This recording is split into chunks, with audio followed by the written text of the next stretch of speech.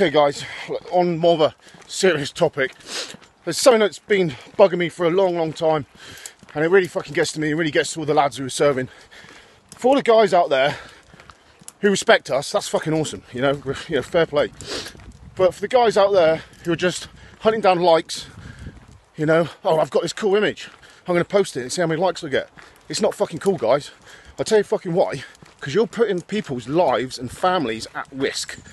Because faces get out there, names get out there. Oh, I know this guy. Oh, I know this. I know that. And before you know it, someone has someone's fucking address.